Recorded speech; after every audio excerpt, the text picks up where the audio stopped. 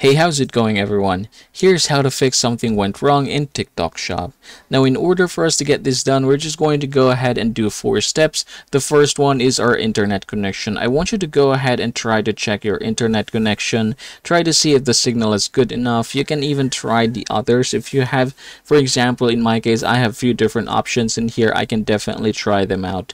Now, um, say for example, your internet is okay. You have already tried this one and everything is looking good. What you you can do is close this TikTok app of yours and then you're going to long press it and then you're going to hit where it says clear cache. So I'm going to do that. All right. And then as you can see, we have some cache right here. It is calculating right now. Now we can just go ahead and clear that out.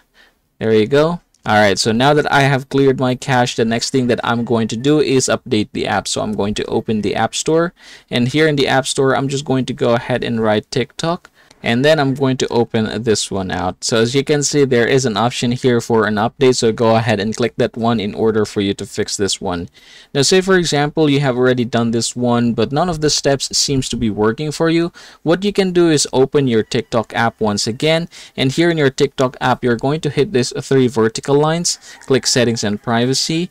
And then you're going to go ahead and scroll down until you see report a problem so go ahead and click that one and then I want you to scroll down once again and click submit a report. So here you are going to submit the problem that you're having. You're going to report this one TikTok. So just go ahead and describe this one here.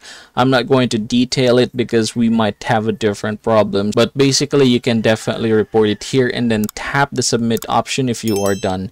And that is how you are going to get this done everybody.